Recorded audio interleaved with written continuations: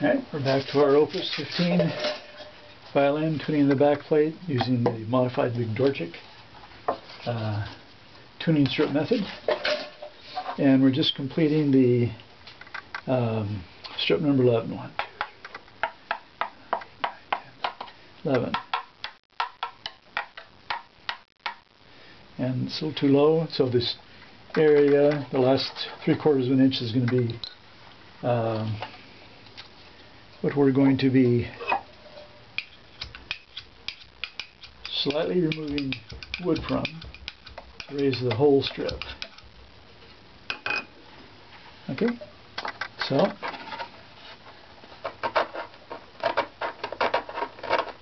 try to scrape evenly across the strip here.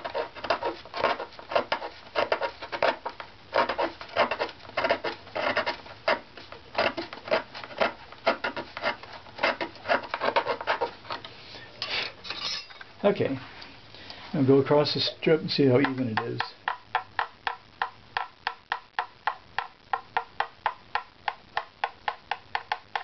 In the middle it's not quite as high as it is on the other side, so see if I can scrape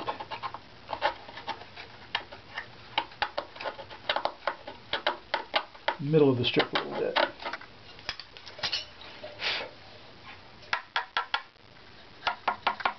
Okay, now let's check the overall tone.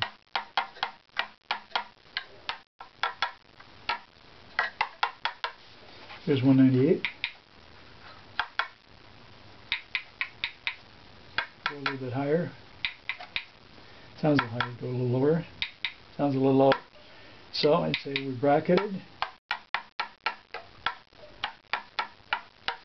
Alright, so from here to here, all this is even.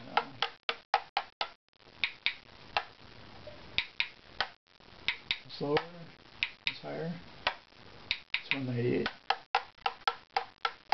So you tell this is a bit low. Okay, let's move our, don't go below this line, piece of tape over. Helps to keep our bearings. The new end of the strip we're tuning tape.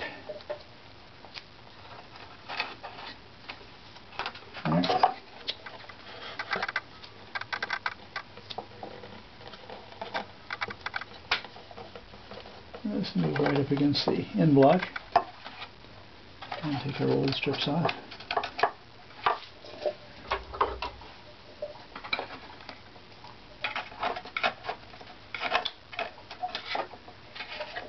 As I say, with the right tool everything is easy. And without the right tool sometimes things are really hard. Okay, so we're going to tap along the strip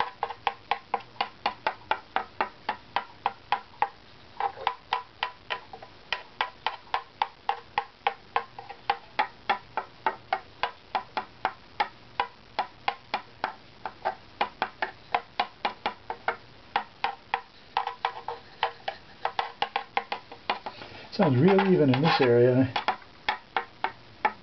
Only as you go up the hill here that it uh, increases in tone. So see if we can't figure a way to scrape that. There's a highest at the top, so kind of taper down here a little bit.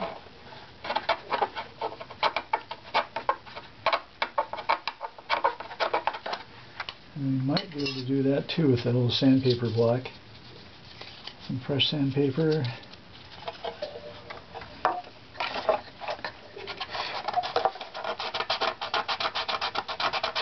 Just on this last little bit. Five eighths of an inch or so. Okay, let's see how we did.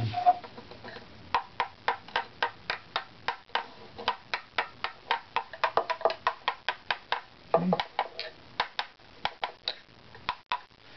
So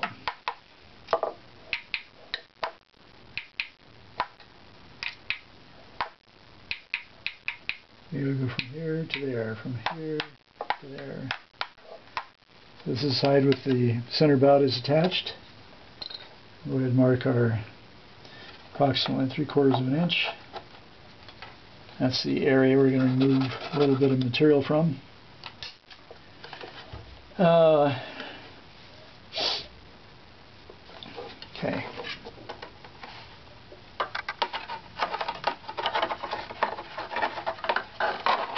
So we can sneak here.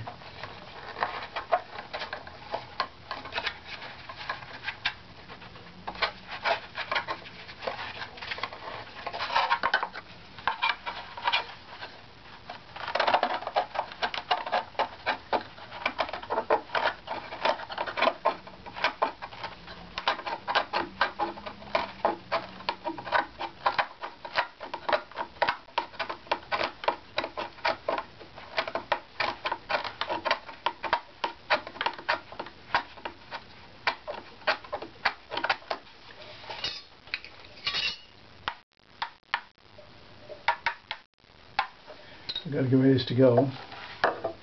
Might try this with our sandpaper too.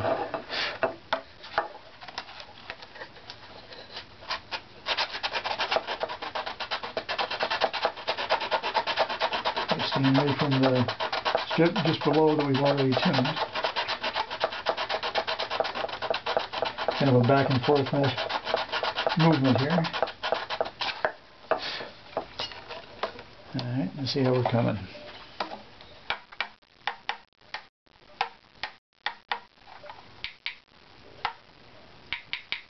So we're still about a one, one and a half hertz low, so we're getting close. And let's see how even we are across. Looks like the side or the bottom could go up just a little bit, so I'll scrape a little extra there.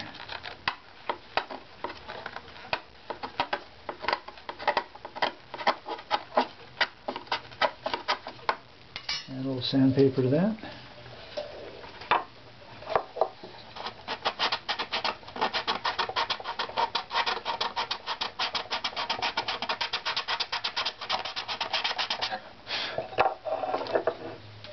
Alright. See how it's even it is across the strip?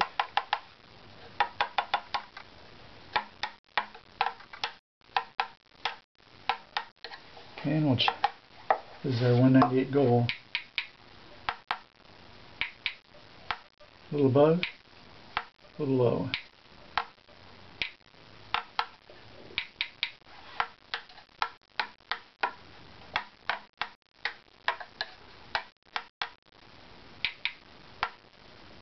So it seems to be bracketed. 198. Alright, so moving right along to the penultimate strip.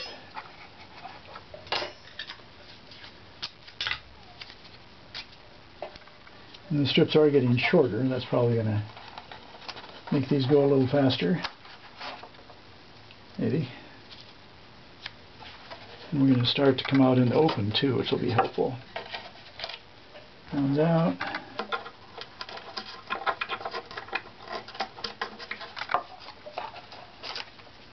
Okay. So 1, 2, 3, 4, 5, 6, 7, 11, 12. So this is number thir 13. Because the this strip's actually all one and has a dotted line down the middle, making 13 total. But because we we're counting that as two now, so it's 14 altogether. So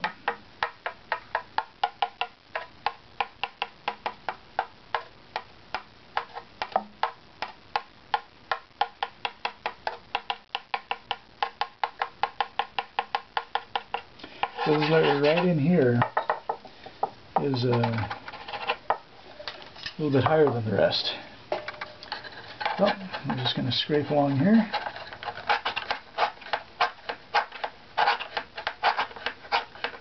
And keep from going below the line into the area you've already tuned.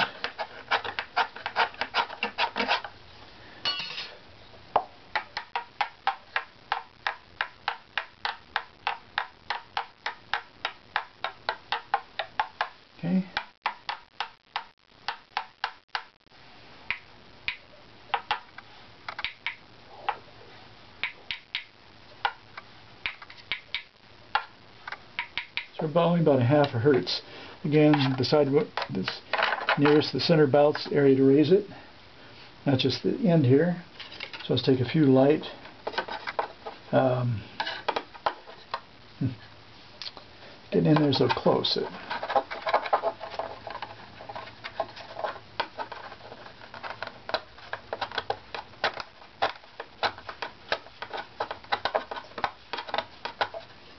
maybe we can get our sandpaper in there too.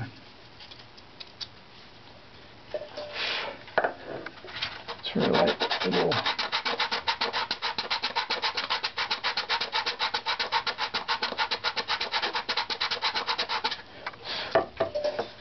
Okay.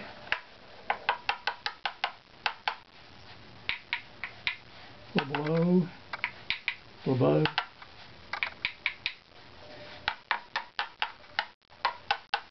Okay, now we're down to the last little, this area will be sure that's even. This is to raise it, and this is to lower it, so.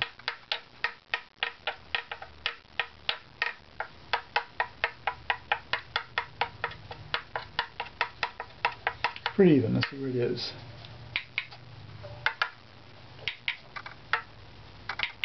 So it's about 196 and a half. So we need to raise it slightly, and that's just a little tiny area in here that we want to adjust. And again, let's see if we can put a scraper in there.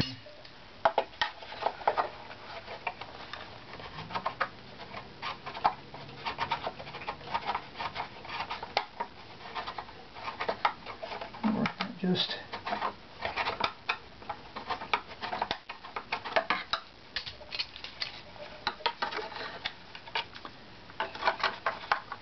Okay, let's see if we can get this in here.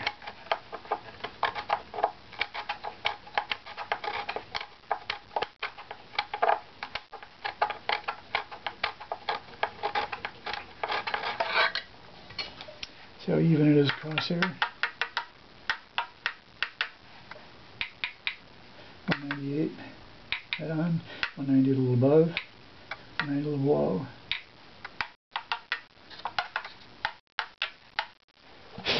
Okay, so I think we have pretty much accomplished our goal.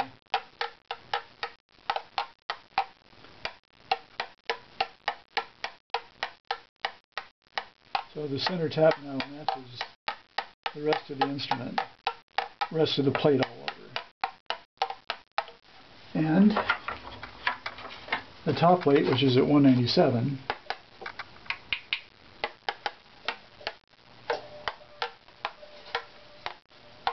sounds neither higher nor lower than the rest of the back. They, they're different frequencies, but they sound like they belong together.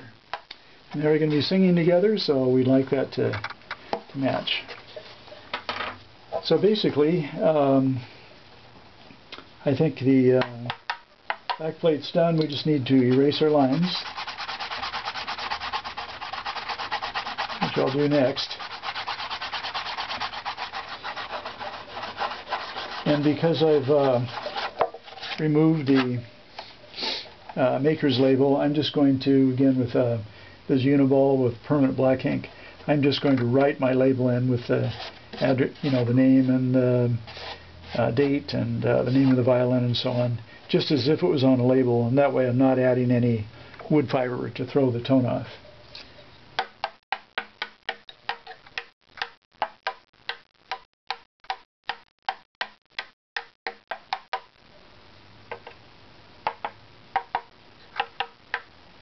Overtones change, but the basic tone is where we want it. Okay, the Opus 15, I'd say, to the best of my knowledge, that back is tuned as best that I know how. We'll see how the results are when we get down here.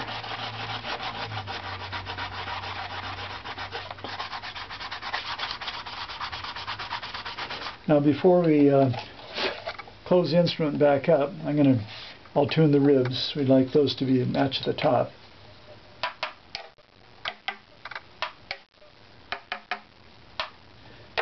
And we'll see if we can find, if there's any high spots, we can lower it a little bit by scraping inside. And then I'm going to put two coats of propolis on the ribs and on the inside of the back, and then Dutch Rush twice. Dutch Rush. and um, that'll give an acoustic advantage. And you'll see I'm going to do a sound test. I'll do half, um, and then the other half I won't. We'll compare the two in the loudness of the two taps, and um, then I'll do the whole thing. Then it'll be ready to reassemble. Okay. Back plate of Opus 15, and Dave Langsather. Hope it's uh, useful information for you.